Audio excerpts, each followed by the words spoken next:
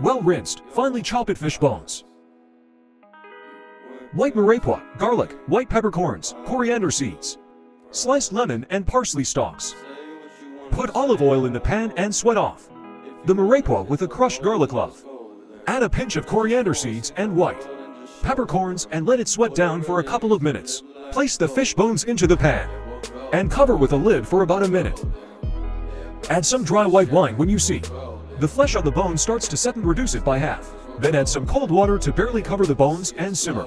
Once up to a simmer, reduce the temperature for 20 minutes and skim off the impurities occasionally. Take off the heat and add lemon and parsley and leave for 10 minutes. Pass through double muslin and cool.